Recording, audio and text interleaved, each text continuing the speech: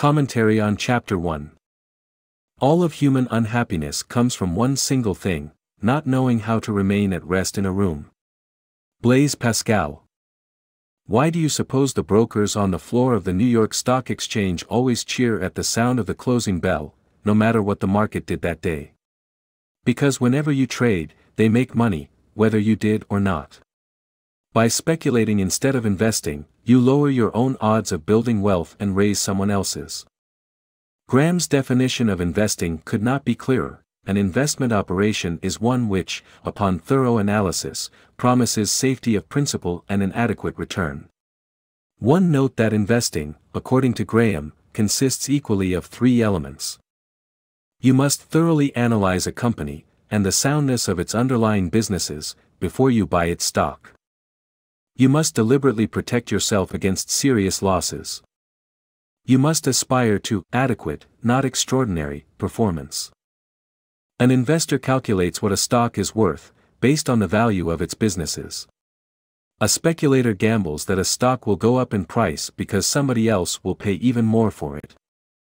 As Graham once put it, investors judge the market price by established standards of value, while speculators base their standards of value upon the market price.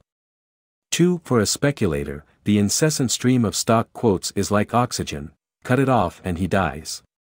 For an investor, what Graham called quotational values matter much less.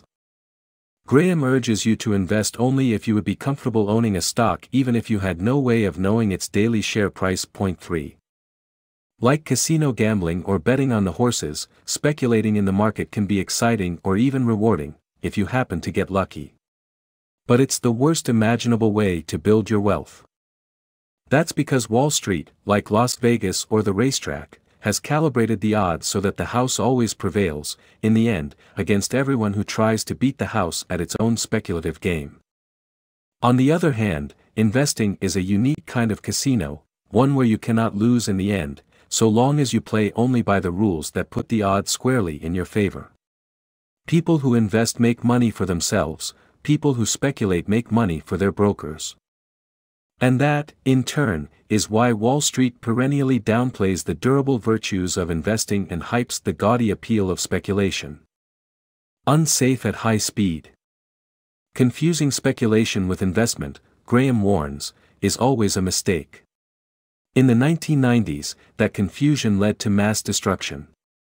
Almost everyone, it seems, ran out of patience at once, and America became the speculation nation, populated with traders who went shooting from stock to stock like grasshoppers whizzing around in an August hay field. People began believing that the test of an investment technique was simply whether it worked. If they beat the market over any period, no matter how dangerous or dumb their tactics, people boasted that they were right. But the intelligent investor has no interest in being temporarily right. To reach your long-term financial goals, you must be sustainably and reliably right. The techniques that became so trendy in the 1990s, day trading, ignoring diversification, flipping hot mutual funds, following stock picking systems, seemed to work. But they had no chance of prevailing in the long run, because they failed to meet all three of Graham's criteria for investing. To see why temporarily high returns don't prove anything, imagine that two places are 130 miles apart. If I observe the 65 miles per hour speed limit, I can drive that distance in two hours. But if I drive 130 miles per hour, I can get there in one hour. If I try this and survive, am I right? Should you be tempted to try it, too, because you hear me bragging that it worked? Flashy gimmicks for beating the market are much the same, in short streaks, so long as your luck holds out, they work. Over time, they will get you killed. In 1973, when Graham last revised The Intelligent Investor, the annual turnover rate on the New York Stock Exchange was 20%, meaning that the typical shareholder held a stock for five years before selling it. By 2002, the turnover rate had hit 105%, a holding period of only 11.4 months. Back in 1973, the average mutual fund held on to a stock for nearly three years, by 2002, that ownership period had shrunk to just 10.9 months. It's as if mutual fund managers were studying their stocks just long enough to learn they shouldn't have bought them in the first place, then promptly dumping them and starting all over. Even the most respected money management firms got antsy. In early 1995, Jeffrey Vinik, manager of Fidelity Magellan, then the world's largest mutual fund, had 42.5% of its assets in technology stocks. Vinik proclaimed that most of his shareholders have invested in the fund for goals that are years away. I think their objectives are the same as mine, and that they believe, as I do, that a long-term approach is best. But six months after he wrote those high-minded words, Vinik sold off almost all his technology shares, unloading nearly $19 billion worth in eight frenzied weeks. So much for the long term. And by 1999, Fidelity's discount brokerage division was egging on its clients to trade anywhere, anytime, using a Palm handheld computer, which was perfectly in tune with the firm's new slogan, Every Second Counts. Figure 1.1 Stock on Speed. And on the NASDAQ exchange, turnover hit warp speed, as Figure 1, 1 shows 0.4 in 1999, shares in Puma Technology, for instance, changed hands an average of once every 5.7 days. Despite Nasdaq's grandiose motto, the stock market for the next hundred years, many of its customers could barely hold on to a stock for a hundred hours. The financial video game. Wall Street made online trading sound like an instant way to mint money, Discover Brokerage, the online arm of the venerable firm of Morgan Stanley, ran a TV commercial in which a scruffy tow truck driver picks up a prosperous-looking executive. Spotting a photo of a tropical beachfront posted on the dashboard, the executive asks, vacation? Actually, replies the driver, that's my home. Taken aback, the suit says, looks like an island. With quiet triumph, the driver answers, technically, it's a country. The propaganda went further. Online trading would take no work and require no thought. A television ad from Ameritrade, the online broker, showed two housewives just back from jogging, one logs on to her computer, clicks the mouse a few times, and exults, I think I just made about $1,700. In a TV commercial for the Waterhouse brokerage firm, someone asked basketball coach Phil Jackson, you know anything about the trade? His answer, I'm going to make it right now. How many games would Jackson's NBA teams have won if he had brought that philosophy to courtside? Somehow, knowing nothing about the other team, but saying, I'm ready to play them right now, doesn't sound like a championship formula. By 1999 at least 6 million people were trading online, and roughly a tenth of them were day trading, using the internet to buy and sell stocks at lightning speed. Everyone from showbiz diva Barbara Streisand to Nicholas Burbaugh, a 25-year-old former waiter in Queens, New York, was flinging stocks around like live coals. Before, scoffed Burbaugh, I was investing for the long term and I found out that it was not smart. Now, Burbaugh traded stocks up to 10 times a day and expected to earn $100,000 in a year. I can't stand to see red in my profit or loss column, Streisand shuddered in an interview with Fortune. I'm Taurus the bull, so I react to red. If I see red, I sell my stocks quickly. 5. By pouring continuous data about stocks into bars and barbershops, kitchens and cafes, taxicabs and truck stops, financial websites and financial TV turned the stock market into a non-stop national video game. The public felt more knowledgeable about the markets than ever before. Unfortunately, while people were drowning in data, knowledge was nowhere to be found. Stocks became entirely decoupled from the companies that had issued them, pure abstractions, just blips moving across a TV or computer screen. If the blips were moving up, nothing else mattered. On December 20, 1999, Juno Online Services unveiled a trailblazing business plan, to lose as much money as possible, on purpose. Juno announced that it would henceforth offer all its retail services for free, no charge for email, no charge for internet access, and that it would spend millions of dollars more on advertising over the next year. On this declaration of corporate harakiri, Juno's stock roared up from $16.375 to $66.75 in two days. 6. Why bother learning whether a business was profitable, or what goods or services a company produced, or who its management was, or even what the company's name was? All you needed to know about stocks was the catchy code of their ticker symbols, CBLT, INKT, PCLN, TGLO, VRSN, WBVN.7 that way you could buy them even faster, without the pesky 2-second delay of looking them up on an internet search engine. In late 1998, the stock of a tiny, rarely traded building maintenance company, Temco Services, nearly tripled in a matter of minutes on record high volume. Why? In a bizarre form of financial dyslexia, thousands of traders bought Temco after mistaking its ticker symbol, TMCO, for that of Ticketmaster Online, TMCS, an internet darling whose stock began trading publicly for the first time that day. 8. Oscar Wilde joked that a cynic knows the price of everything, and the value of nothing. Under that definition, the stock market is always cynical, but by the late 1990s it would have shocked Oscar himself. A single half-baked opinion on price could double a company's stock even as its value went entirely unexamined. In late 1998, Henry Blodget, an analyst at CIBC Oppenheimer, warned that, as with all internet stocks, evaluation is clearly more art than science. Then, citing only the possibility of future growth, he jacked up his price target on Amazon.com from $150 to $400 in one fell swoop. Amazon.com shot up 19% that day and, despite Blodget's protest that his price target was a one-year forecast, soared past $400 in just three weeks. A year later, PaineWebber analyst Walter Piecyk predicted that Qualcomm stock would hit $1,000 a share over the next 12 months. The stock, already up 1,842% that year, soared another 31% that day, hitting $659 a share. 9. From formula to fiasco. But trading as if your underpants are on fire is not the only form of speculation.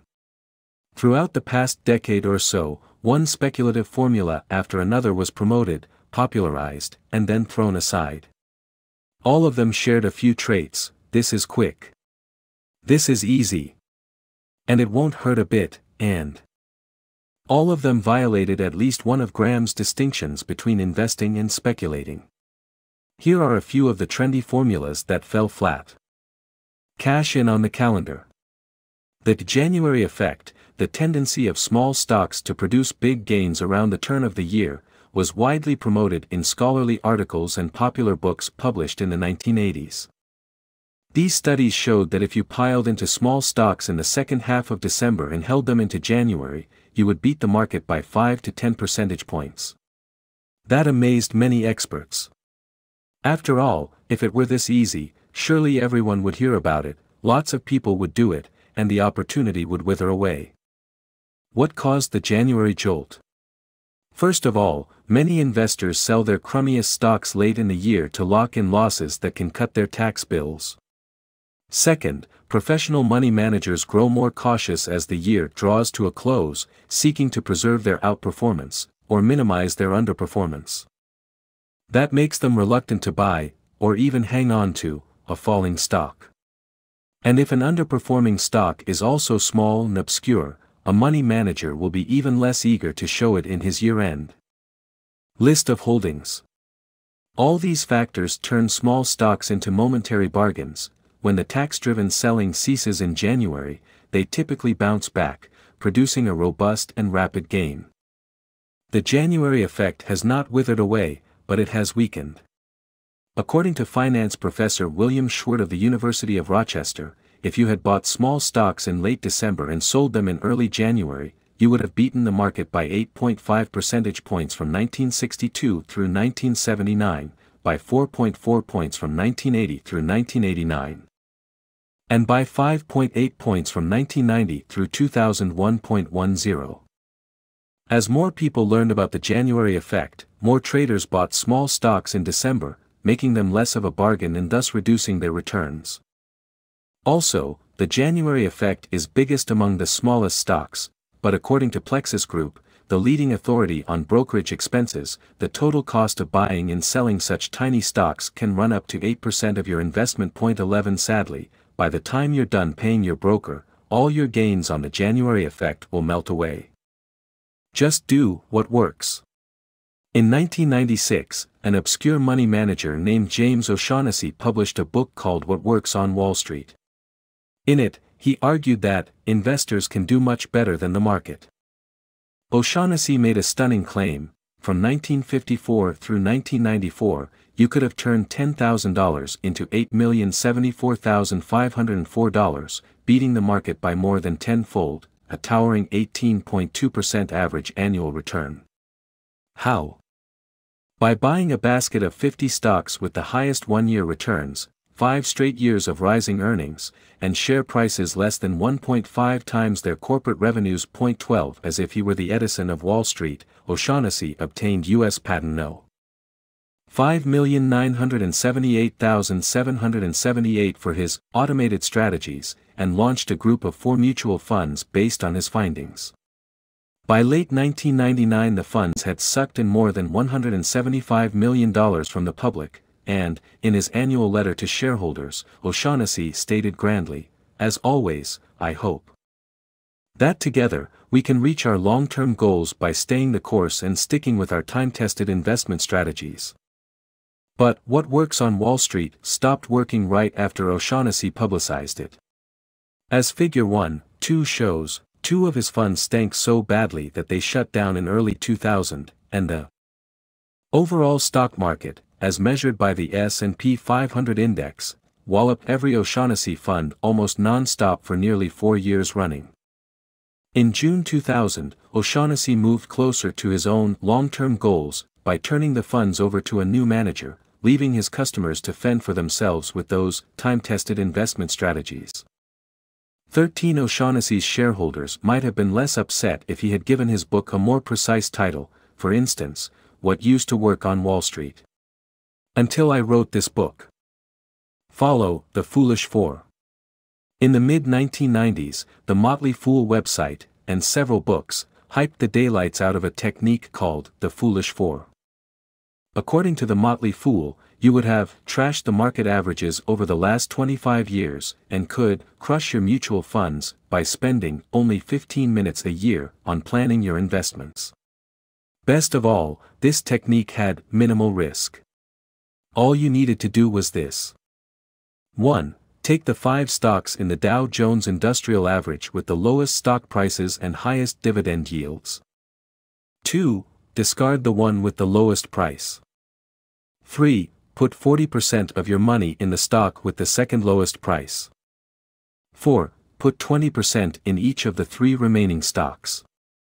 5. One year later, sort the Dow the same way and reset the portfolio according to steps 1 through 4. 6. Repeat until wealthy. Over a 25-year period, the Motley Fool claimed, this technique would have beaten the market by a remarkable 10.1 percentage points annually. Over the next two decades, they suggested, $20,000 invested in the Foolish Four should flower into $1,791,000.